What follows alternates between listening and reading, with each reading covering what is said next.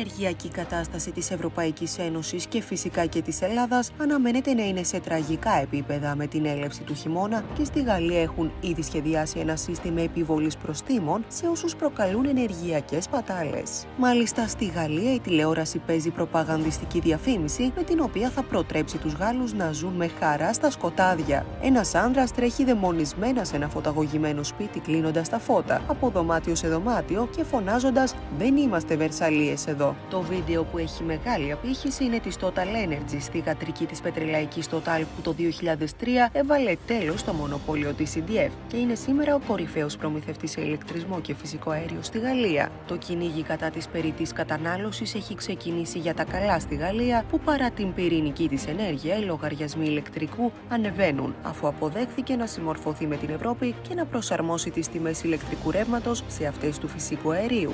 Αυτό ακριβώς πρέπει να τονίσουμε πως έχει γίνει και στην Ελλάδα. Ακόμα και αν πλέον η παραγωγή του ηλεκτρικού ρεύματος απολιγνύεται αποκαθίστατος στα επίπεδα των παλιών καλών εποχών, η τιμή του θα παρέμενε ακόμα συνδεδεμένη με το φυσικό αέριο.